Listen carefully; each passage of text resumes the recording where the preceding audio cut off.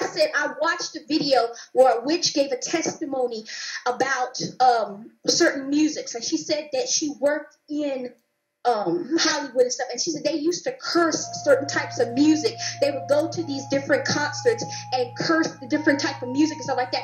Okay, when those people were going there, they weren't going there to actively participate in any type of witchcraft. Or no, they were just there to listen to music. But because that thing was a curse, you know, there was a curse place on it. Those people were receiving certain things into them. We are spirit. Okay, yes, we have bodies, but we ha- we are spirit beings. Going to. You understand? That's what's born again. That's what's in us that, that that receives from the Lord. You know what I'm saying? And there are spirits attached. You know what I'm saying to certain things. So just because you may not be, be say, oh, well, I don't take it that seriously, but honey, you can let something in and not know it. You can let something in and not even know it. We have to guard ourselves, guard our eyes and our ears and everything. Any, you know, because we can let something in and not even know it. That's right.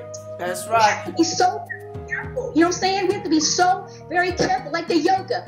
People didn't. People. All you have to talking about Christian yoga. There's no such animal, no such thing. I'm sorry. Right. These people are deceived.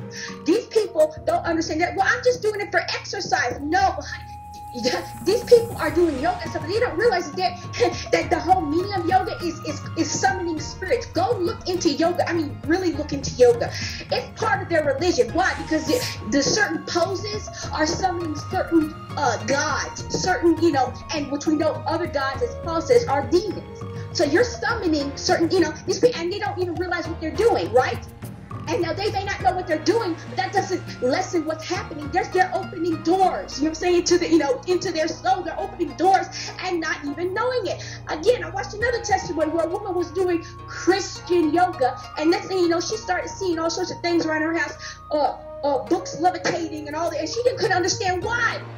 She had to be delivered. She asked, fell on her knees and asked the Lord to deliver her and all of a sudden everything you know got better and the lord straight up told her leave it alone the yoga Wow. you're opening doors okay we can open doors and not even know it Right.